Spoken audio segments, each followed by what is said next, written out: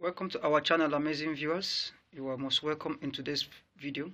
In this video, you are going to learn a lot of things concerning understanding life in the spirit. Apostle Arome taught extensively concerning spiritual life, how you can grow your spiritual life onto the spiritual giant, how to grow your spiritual life from a, as a believer, how to grow your spiritual life if you have been one who have faltered in your walk with God at some time and some point in your Christian journey, and also how you can go into deeper things in God. So I want you to watch to the end in order to understand exactly the things that are done in the spirit concerning your spiritual faith and also subscribe to our channel, like the video and also share with loved ones.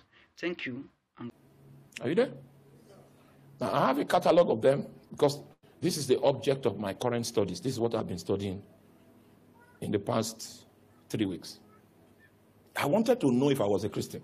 It was if if if if I could score an A in my work with God. So I, let me find out from the Bible. What does it mean to sustain a life in the spiritual? Meanwhile, now give me a scripture. Give me a scripture.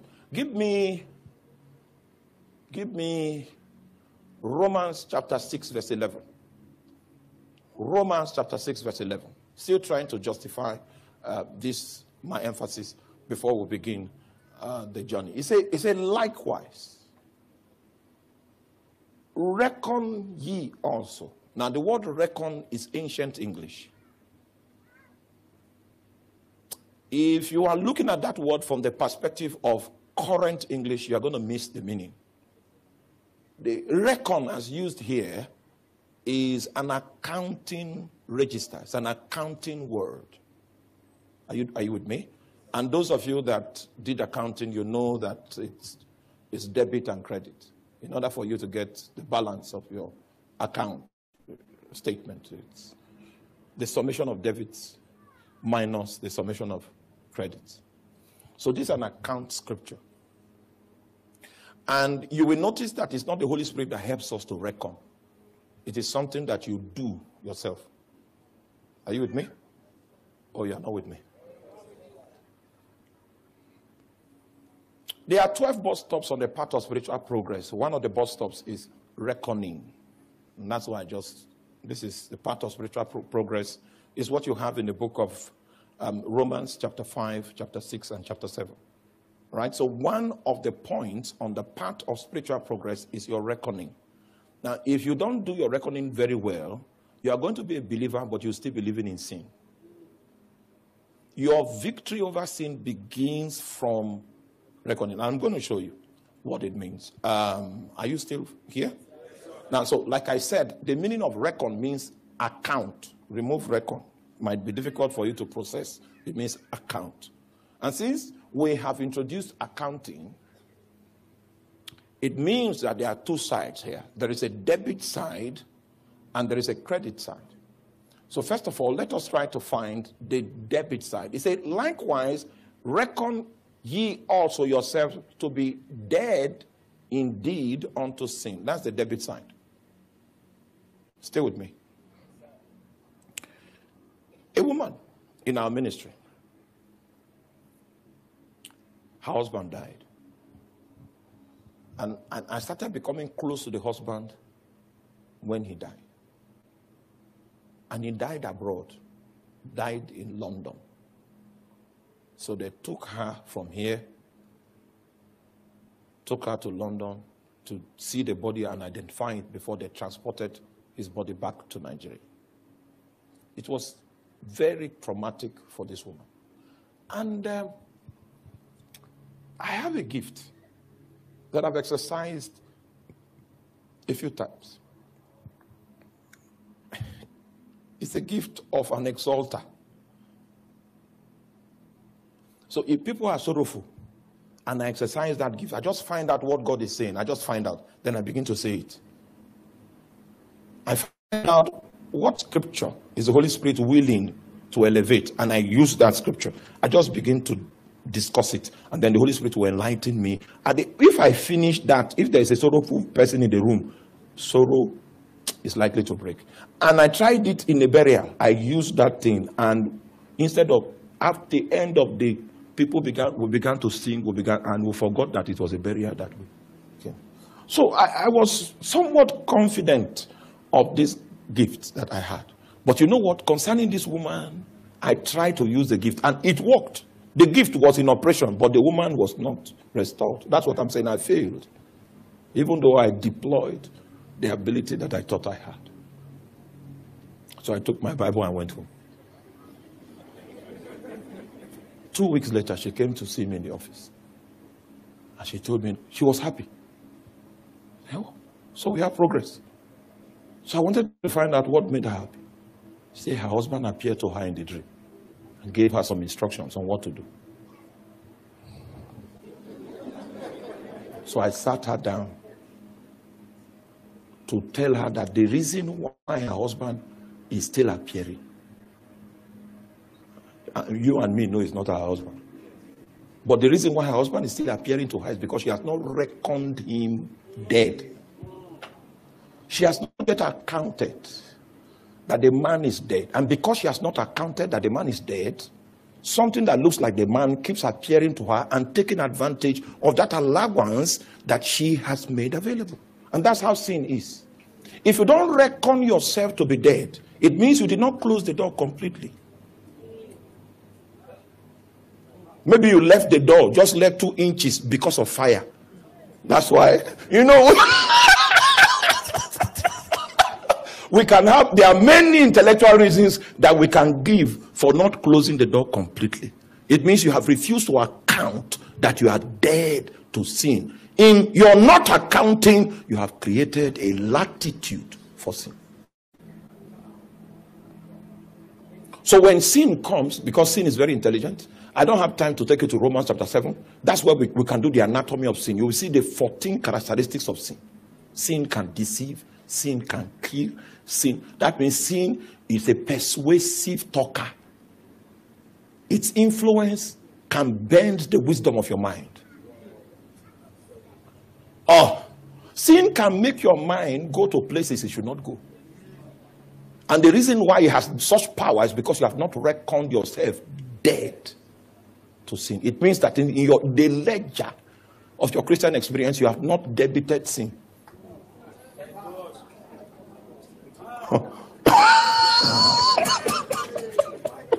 you need to please help me preach your neighbor. You need to debit this thing. You need to debit. Because let me tell you, in case you have, you don't know, sin will follow you till old age. Oh, I finished preaching in London. Fire. People were hit. All kinds of deliverances took place. I saw, oh, and I was excited. And they brought me back to the hotel. You know, you know how our protocol people, when they are coming to take you from the hotel, we, we are, we are going as if.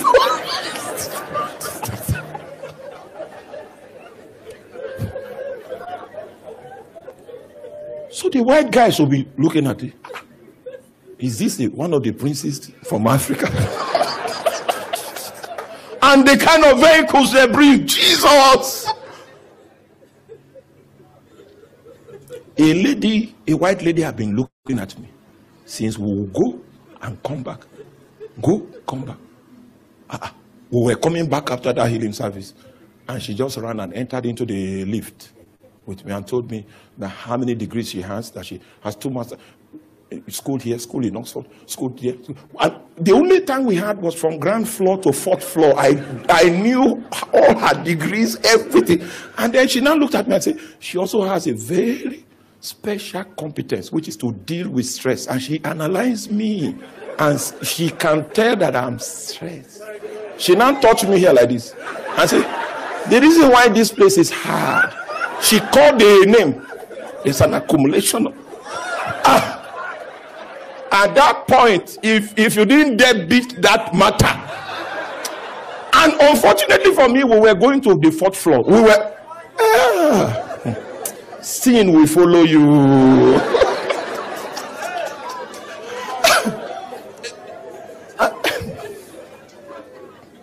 sin, it will follow you. As you and that lady are in the third, uh, fourth floor, it will come and it's just a step away. It's just a step. You can. Ah, if you have not reckoned yourself completely dead unto it, you will consider that it is possible. As long as you can find a place in your mind,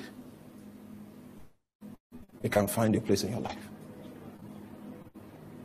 When Jesus was talking about sin, he attacked the ones that come into the mind. He attacked it grievously because if he doesn't have a place there, if you, if you reckon it dead there, it will never happen. Did you get that? Let's go back to that scripture. We are still, I'm just trying to lay the foundation for the journey, okay? He said, he said, likewise, reckon ye also yourselves to be dead indeed to sin, that's debit, and alive unto God through Jesus Christ, that's credit. So this is the aspect of life that is no longer associated with your new existence, sin, so that you can be alive unto God. That's what Elijah meant when he said, As the Lord liveth, before whom I stand. He was alive unto God. Your life in the Spirit will expose you to diverse experiences. And we believers are supposed to understand the experiences that will befall us just because of our adventure in the Holy Ghost. Is that clear? Number one, the first, the first experience that is going to be consequent upon our life in the Spirit is the consciousness of spiritual reality. The consciousness of spiritual reality. I don't know if I can do First Corinthians chapter 2. Because if there is any set of scriptures that we can label, or a chapter in the Bible that we can label spiritual things or spiritual realities. First Corinthians chapter 2. But it's too long for me to use First Corinthians 2 to establish that it's just too long. But there is no other scripture that does it as powerfully as First Corinthians chapter 2. Okay, so let's try to see. First Corinthians 2.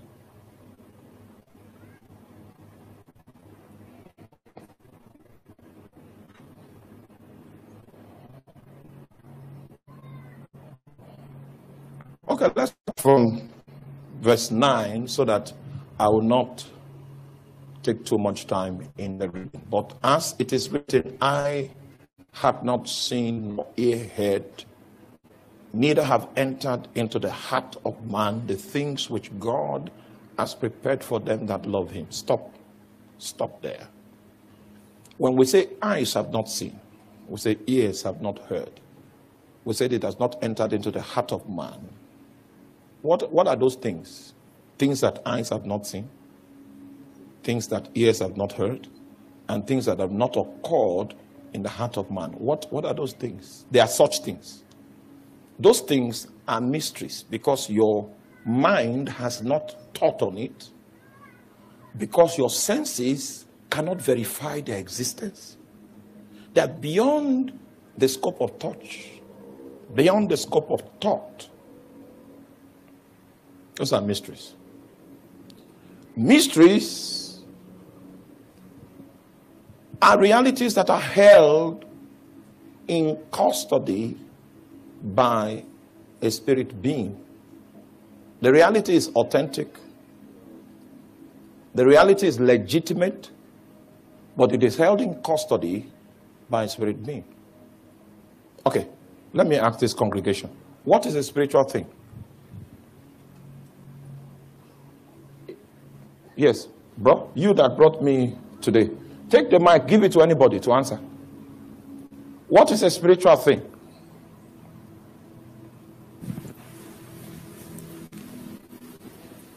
You know, when you take, take time to think on this, my question, you realize it's not an intellectual question. I know we have intellects in this room, but unfortunately, that question is not intellectual. So many of you have, have reached back into your mind to make sense. No, it's not cerebral. It's not cerebral. Yeah. Something that we can't we can't see, we can't perceive with our senses. You got 40%. It is true that we cannot see it. It is true that our senses cannot verify its existence. But that's not the major issue about the definition of a spiritual thing. Yes? So a spiritual thing comes from what comes to my mind is spirit, the attributes of a spirit. So the as what are the attributes of a spirit? It's not necessarily the attributes of a spirit that is a spiritual thing. Okay. A spiritual person mm. has attributes, and you can know a spiritual person through his attributes. But what is a spiritual thing? A spiritual thing is not necessarily a person. Like I said, it's not, it's not cerebral.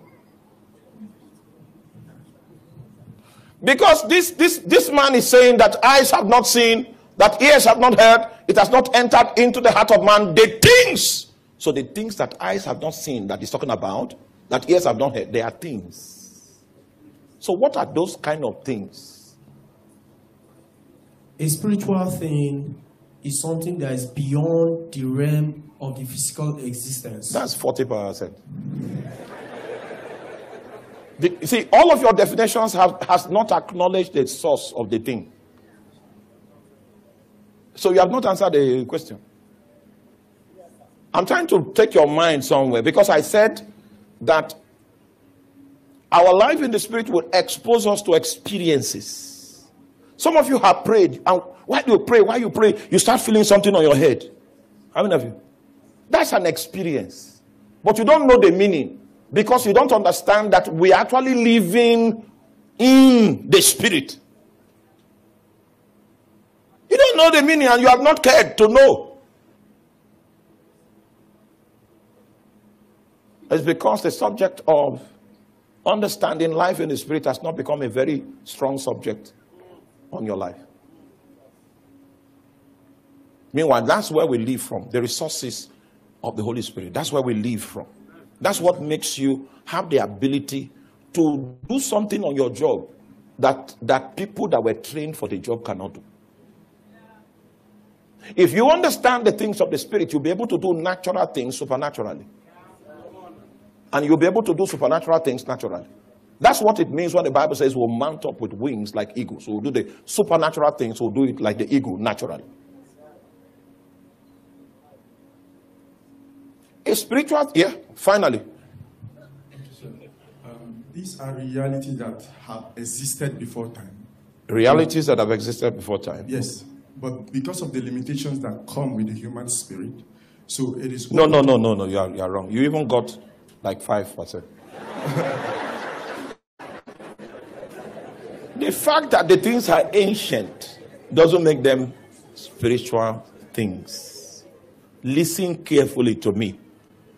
A spiritual thing is a reality that is formed by the presence of a spirit being. You see, when my brother was worshiping, are you there? A reality started forming. And that reality was so tangible that it could give us experiences, even though it was not something that we could see. The reality was so tangible. There was a sister behind me. I don't know whether she was crying. But the reality was so tangible that it made somebody cry. But her physical senses cannot verify that reality. Something began to form here. And the moment he stopped doing what he was doing, that pleased the spirit being, that made him to begin to form that reality. The moment he stopped it, that spiritual thing, it vanished from our consciousness. It's not as if the thing ceased to exist, but we're no longer conscious of it. He was no longer willing, he was no longer willing to make us conscious of it because the activity that made him willing has stopped. Are you staying with me? You know, the first thing I said is that when we begin our adventure in the spirit realm, the first thing that happens to us is that a consciousness of spiritual realities is formed. A consciousness. And this consciousness of spiritual reality that is formed, even a believer and an unbeliever can verify that is present. The last meeting I preached on or preached in in Tanzania, the governor of that province came for the meeting and he's not a Christian. So he was given an opportunity to make a speech. He made a brilliant speech, and I told him his speech was indeed brilliant. He he spoke about the population of the province, spoke about the economic potential, spoke about the things that were underway. Oh my God. In like 30 minutes, you will know that the guy knows governance. So he now said, Well, he's not a Christian. He's been looking for people to educate about his function since he was appointed as governor of the province. He, he looked for them. He didn't, he didn't know that they were in the church. So now that he has seen them, he wants to, he wants to engage. so his engagement was enlightening. He now said he wanted to, he would sit just for a while and go. So they invited me to preach. Then a spiritual thing.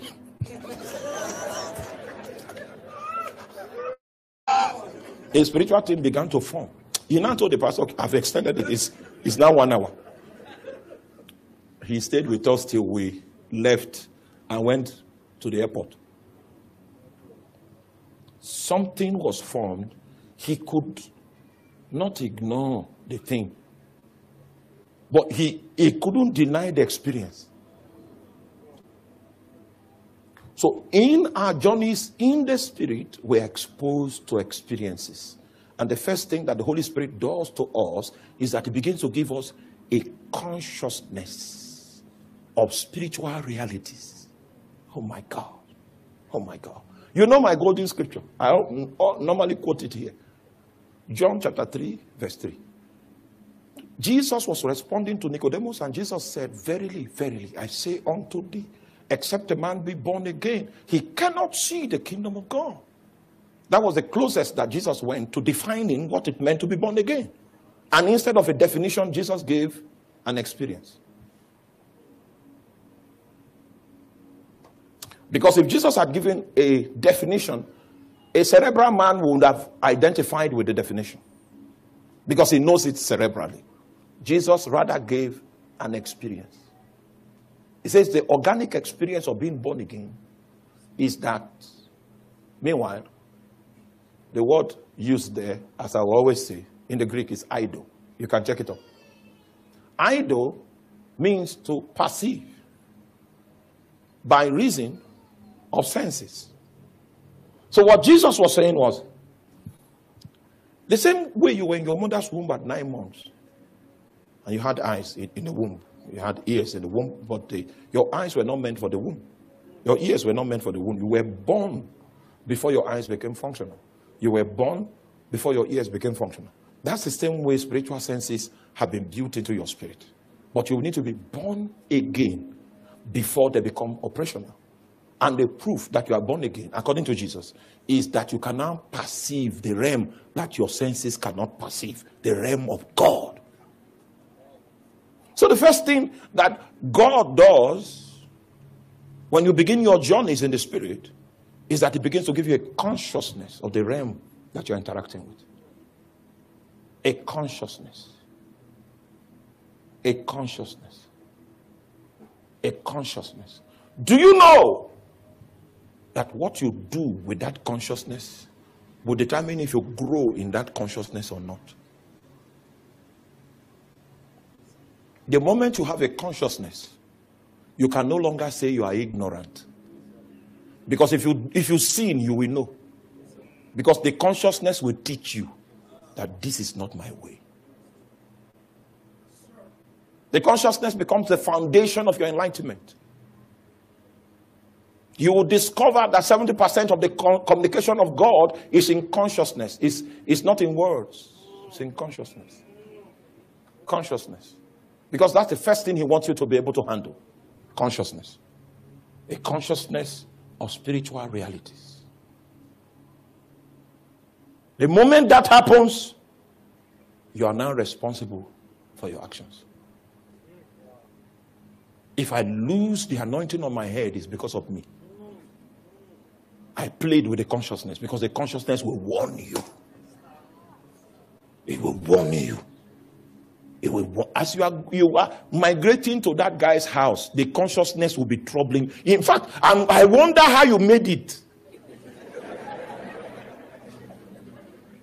to become enlightened. Nobody can, you know, normally when things happen and we are coming to give reports to the pastor, maybe something has gone wrong, everybody tries to paint himself in bad light. They are all liars. They all knew because of this, this consciousness. They all knew.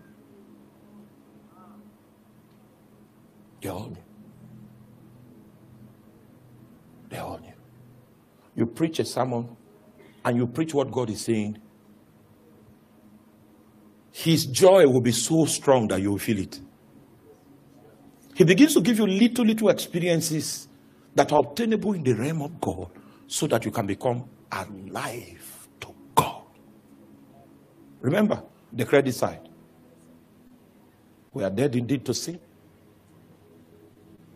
We are alive to God. So the consciousness comes. So that's the first level, it's a level of consciousness. So you can handle a spiritual thing without seeing it because of this consciousness.